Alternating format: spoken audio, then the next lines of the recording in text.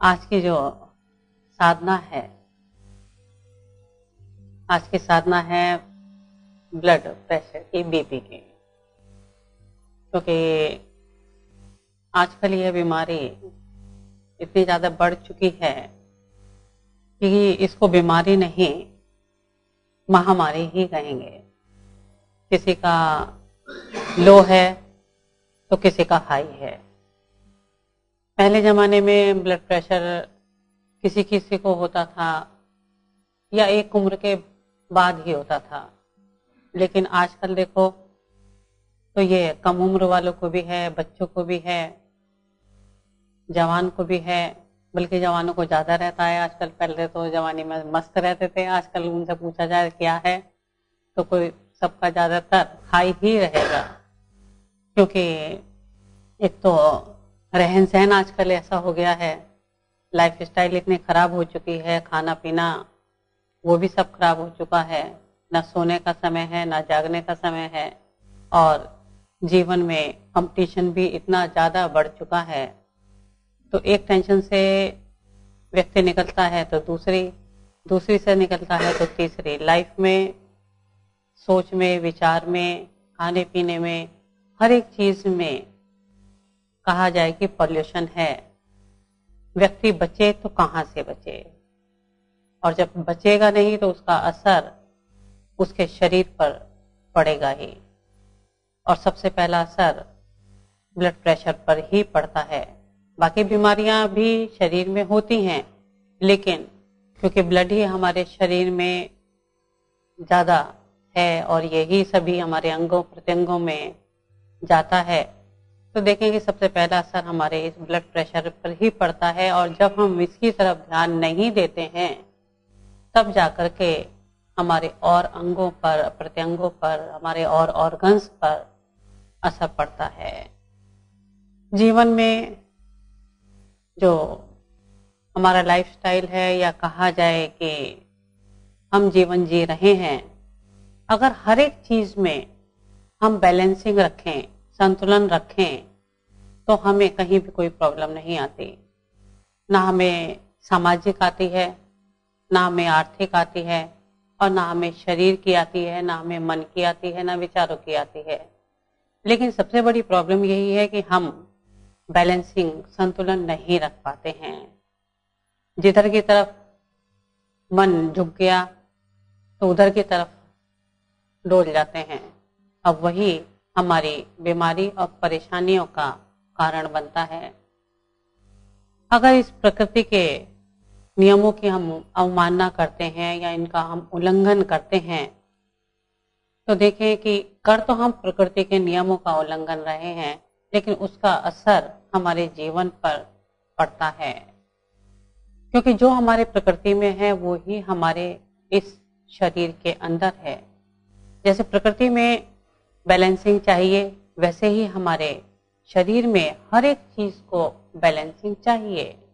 जैसे हवा चलती है, अगर वो नॉर्मल बैलेंस हवा चल रही है तो अच्छी लगती है, जीवन देती है।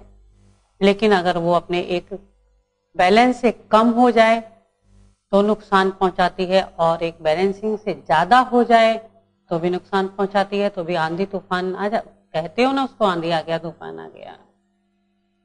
और जितनी उसकी संतुलनता बिगड़ती है, उतना ही ज़्यादा नुकसान पहुंचाती है।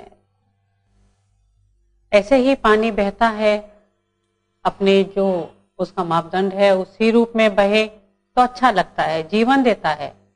लेकिन अगर कम हो जाए तो भी नुकसान देता है, और ज़्यादा हो जाए तो भी नुकसान देता है।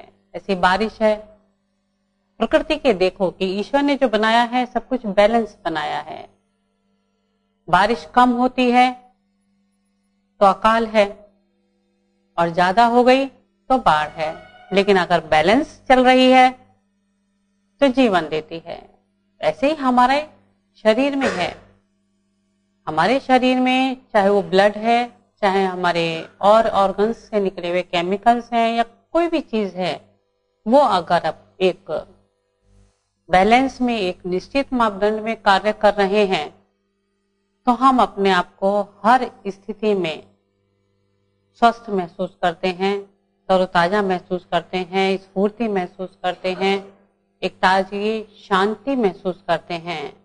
लेकिन अगर इसमें कमी आ जाती है, या इसमें अति हो जाती है, ज़्यादा हो जाता है तो फिर आप कहते हो कि हाँ बीमारी हो गई। जैसे आप देखो कि आपको कहीं कोई कष्ट है, कहीं कोई परेशानी है तो आप क्या करते हो? लैब में जाकर के टेस्ट कराते हो? टेस्ट कराते हो टेस्ट की रिपोर्ट क्या आती है? वहाँ पर मिनिमम और मैक्सिमम लिखा होता है ना कि इसी के बीच में आपका होना चाहिए। अगर इसके बीच में नहीं है, इससे कम है तो बीमारी है और इससे ज़्यादा है तो बीमारी है। तो आप दवाई किस चीज़ की लेते हो कि अगर ज़्यादा है या कम है, उसको एक उसी ही मापदंड में लाने के लिए। फिर दोबारा टेस्ट कराते हो तो क्या है? उसी की ही रेशो में अगर वो चीज़ आ गई है तो आप ठीक हो। अगर रेशो में नहीं आ रही है तो फिर आपकी दवाई कंटिन्यू रहती है। कोई चीज़ से भी आप बीमारी देख लो, हर बीमारी के लिए आपको टेस्ट करना अनिवार्य है। टेस्टिंग कहीं के लिए है। यही जांचने के लिए कि जिस चीज़ आपके, जिस ऑर्गन में, जिस आपके पार्ट में बीमारी हो रही है, उसकी चीज़ वो बैलेंसिंग में नॉर्मल है या नहीं है? नॉर्मल है तो फिर कोई और चीज़ देखी जाती है, किस वजह से प्रॉब्लम आपको आ रही है? कहने का हमारा तात्पर्य है कि प्रकृति है या जीव है या इंसान है, जो भी है, हर जगह हमें उसके ऊपर वाले के नियमों के अनुसार ही चलना पड़ता है। क्योंकि जो हमारे बॉडी में बैलेंसिंग का रेशियो जो बनाया है, वो ऊपर वाले ने बनाया है। हमने इंसान ने नहीं, उसको, इंसान तो क्या करता है, बस उस रेशियो को ढूंढता है।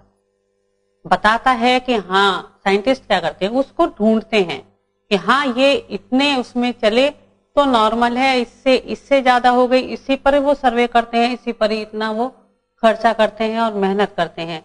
लेकिन असली बनाने वाला, वो मशीन बनाने वाला तो वो ऊपर बैठा है। असली मशीन तो उसी ने बनाई है और उसी ने इसका एक मापदंड निर्धारित किया है। तो इंसान जो दवाई बना रहा है और वो जो ऊपर वाला दवाई बना रहा है, दोनों की दवाइयों में तो फ़र्क होगा ही, क्योंकि हमारा ये मशीन तो उसी ने बनाई है। और इसको पूरी तरह से कंट्रोल और पूरी तरह से नॉर्मल भी वही ऊपर वाला ही कर सकता है। इंसान कितना भी तरक्की कर ले, कितना भी ढूंढ ले। लेकिन फिर भी देखो कि समय के साथ साथ जो इंसान के बनाए हुए, ढूंढे हुए तरीके हैं, उनमें चेंजेस होते चले जाते हैं। कभी तो कहते हैं, इसको खाने से ये चीज़ कंट्रोल हो जाएगी, फिर वो थोड़े कुछ सालों बाद फिर चेंजेस आ जाते हैं। क्योंकि इंसान भी बदलता जा रहा है तो उसके अनुसार वो सारी चीज़ें भी बदलती चली जाती हैं। यानी कि सब कुछ बदलता चला जाता है। इंसान का बनाया हुआ, लेकिन ऊपर वाले का बनाया हुआ कुछ नहीं बदलता। जब यह धरती शुरू हुई थी, तब भी इंसान का दिल यही था। सारे ऑर्गन्स वहीं थे, वैसे ही धड़कते थे उसी रेशो से, और आज 21वीं सदी में पहुँच गया है तो भी वही चल रहा है। इंसान बदल गया है। इंसान जो है मतलब चूल्हे से लेकर के और आज माइक्रो ओवन तक और प्लेन तक और चाँद तक पहुँच गया है। लेकिन ईश्वर के जो इंसान अपनी मशीनें बनाता है, वो बदलता चला जाता है, लेकिन ईश्वर ने जो मशीन बनाई है, वो ऐसी शुरू में ही इतनी तरक्की से बनाई है कि उसमें आज तक भी कोई बदलाव नहीं है। लेकिन उसको बीमार क्या है? हम बनाते हैं। उस रेशो को हम बिगाड़ते हैं। अपने लाइफ स्टाइल से, अपने खाने पीने से, अपने सोच से, अपने विचार से, अपने कंपटीशन से। लेकिन आजकल का जो माहौल चल रहा है, उस माहौल में आपसे हम अगर ये कहें कि अपनी लाइफ स्टाइल चेंज करो या आप ये मत खाओ, वो मत खाओ तो आप कितने दिन? दो दिन, चार दिन, हफ़्ता, महीना, दो महीना, साल भर। लेकिन अल्टीमेटली क्या होगा? क्योंकि आज की इंसान की रिक्वायरमेंट ही वही है।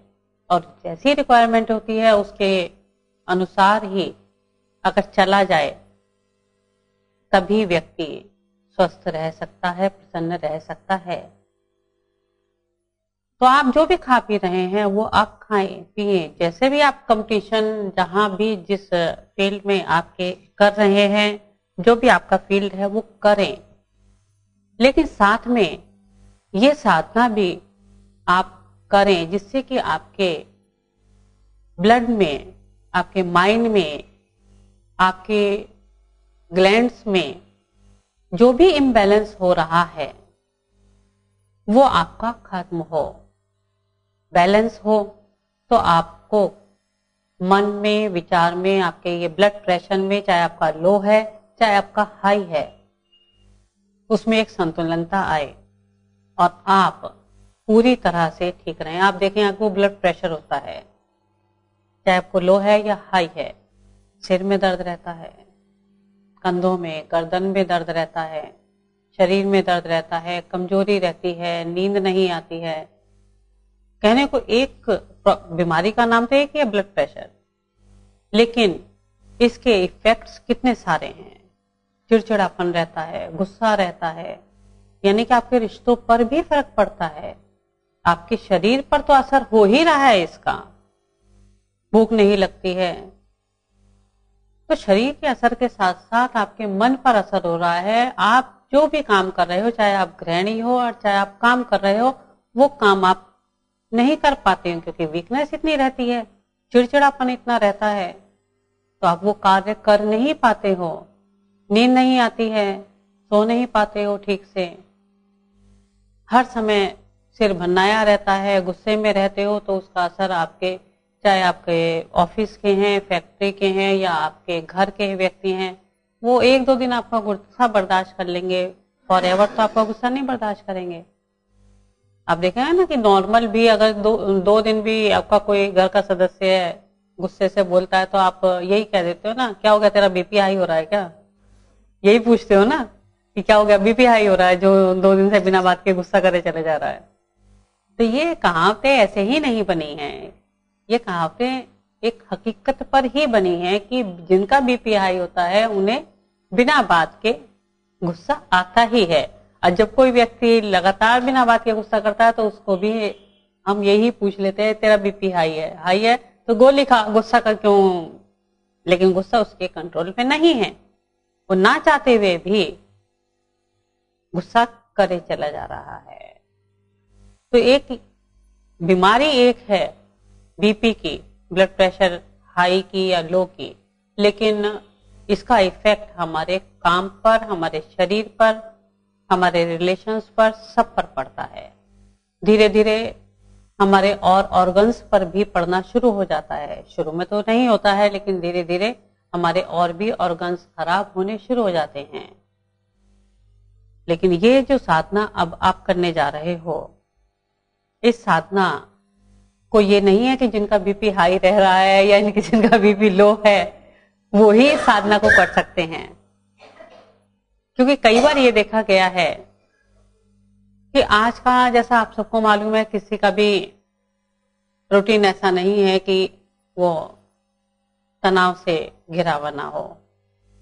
आज एक गृहिणी भी है, उसका वो भी चाहे कोई काम नहीं करती है, लेकिन उसको भी टेंशन है। आज माई नहीं आई है, आज बच्चे खाना खा कर नहीं गए हैं, आज वो उसने ये बोल दिया है, उसने ये कह दिया, उसने वो कर दिया, यानी कि एक उसका भी जीवन तनाव से भरा हुआ है। और जब तनाव से घिरा हुआ ज़िंदगी होती है तो ये चीज़ें इफ़ेक्ट उनके भी रहते हैं। एक मन में जब शांति नहीं होती है तो ये इफ़ेक्ट उनके भी आ जाते हैं। तो आपको ब्लड प्रेशर लो है या हाई है, या ब्लड प्रेशर नहीं भी है तो भी आप इस साधना को कर सकते हैं, जिससे कि आपके शरीर में, आपके ग्लैंड्स में एक बैलेंसिंग रहे, एक कंट्रोल में रहे। क्योंकि बैलेंसिंग तो हर जगह, जैसा भी आपको बताया, हर जगह ज़रूरी है। और जितना आपके ग्लैंड्स आपके ऑर्गन्स आपके विचार बैलेंस रहेंगे, उतनी ही सब में ताजगी रहेगी, स्फूर्ति रहेगी। और ये आप समझ सकते हैं कि हमारे शरीर में, हमारे विचारों में जितनी ज़्यादा तरोताजगी रहे, इनमें जितनी ज़्यादा शक्ति रहे, उतना ही आप अच्छा कार्य कर सकते हो, अपने जीवन में आप सफलता प्राप्त कर सकते हो। साधना को आपने रोज करना है। एक दिन करोगे तो उससे ये नहीं सोचोगे आपका ब्लड प्रेशर नॉर्मल हो गया, आपकी ग्लैंड ठीक से काम करने लगेंगे। जैसे आप योगा करते हो, रोज करते हो तभी फ़ायदा पहुँच, पहुँचता है ना। जिम जाते हो, रोज जिम जाओगे तभी फ़ायदा होगा। ये तो है नहीं कि महीने में एक बार जिम चले गए तो पतले हो जाओगे, वो फ़ायदा करेगा। कोई भी कार्य से पूरा लाभ प्राप्त करने के लिए आपको उसको रोज करना पड़ता है। ऐसे ही ये मेडिटेशन भी है कि आपने रोज करनी होगी, क्योंकि ये एक ऐसी बीमारी नहीं कहा जाएगा, महामारी है कि ये आपको ना आए। अगर है तो उससे आपको मुक्ति मिल जाए।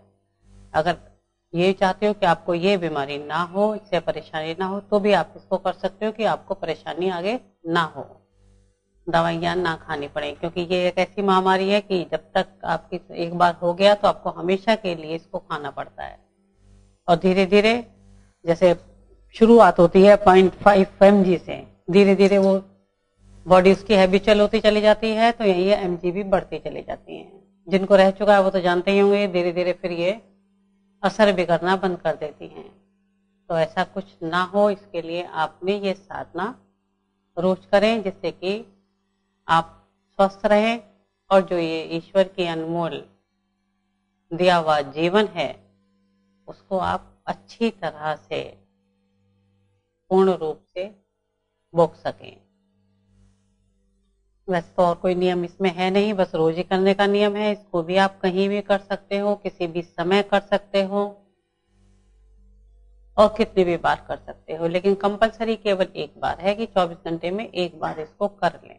किसी भी टाइम करें, ऐसा नहीं है। एक से ज़्यादा करोगे तो नुकसान नहीं है, क्योंकि साधना है। दवाइयों का तो डोज फिक्स होती है कि इतनी ही लेनी है, उससे ज़्यादा नहीं लेनी है। उससे ज़्यादा लोग तो नुकसान करेगी। लेकिन मेडिटेशन से एक से ज़्यादा आप करते हो तो नुकसान नहीं होता है, फ़ायदा ही होता है। लेकिन हाँ फिर भी ये होता है कि कितनी बार संकल्प साधना है, वो आपको कहा जाता है, दिन में दो बार कंपलसरी है। धनवृद्धि कहा जाता है, केवल एक ही बार करें। ऐसे ही ये भी साधना जो है, आपकी केवल एक ही बार करेंगे 24 घंटे में। किसी भी टाइम करो, किसी भी जगह करो, कोई नियम नहीं है। बाकी तो आप अपने आप ही देखोगे। जैसे पहले भी आप काफ़ी लोगों ने कर रखी है तो उनको मालूम ही है कि पूरी तरह से वो स्वस्थ हैं।